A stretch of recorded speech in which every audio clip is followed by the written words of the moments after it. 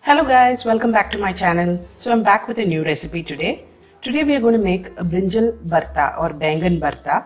This is a super simple recipe which can be served along with chapati or rice.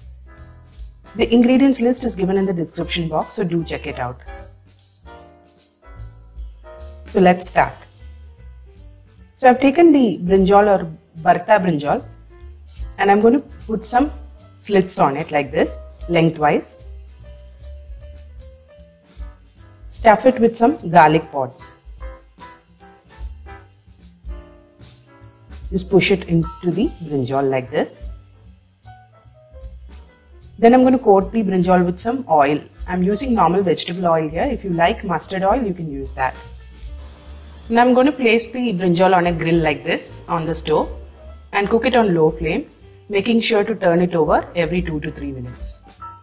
Once the brinjal was cooked, I've removed all the skin from it and I'm going to use a knife to chop it into smaller pieces.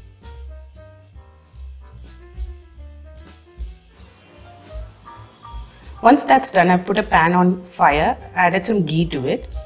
I'm putting in some cumin seeds to splatter. I'm going to follow that up with some finely chopped onions and some green chilies and ginger. Mix everything together and let the onions turn translucent. Once the onions are done, we'll add in turmeric powder, red chili powder and a little bit of salt to taste. Mix everything together until, and cook until the masalas are done.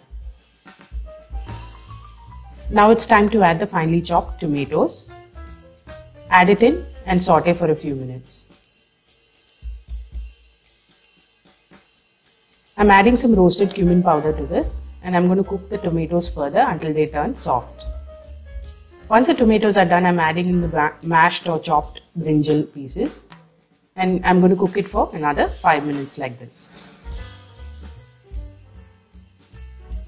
After 5 minutes, the brinjal is done and you can remove it from fire and serve it with chapati or rice.